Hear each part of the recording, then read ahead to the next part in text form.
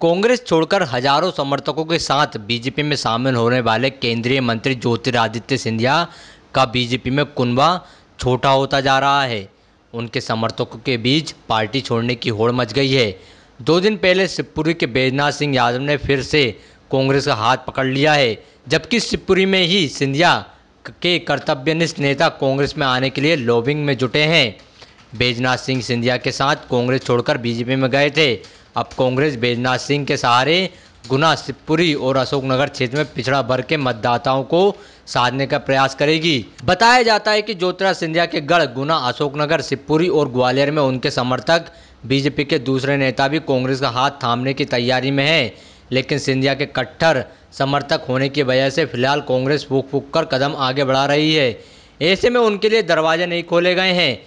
लेकिन इतना तय है कि बड़ी संख्या में कांग्रेस में वापसी होगी। वहीं सिंधिया के भाजपा में आने की वजह से राजनीतिक हाशिए पर जा रहे बीजेपी नेता भी कांग्रेस के संपर्क में हैं। इनमें निर्वाचित जनप्रतिनिधि भी हैं। वहीं बीजेपी में ही सिंधिया समर्थकों के ज़रिए सिंधिया पर हमले शुरू हो गए हैं।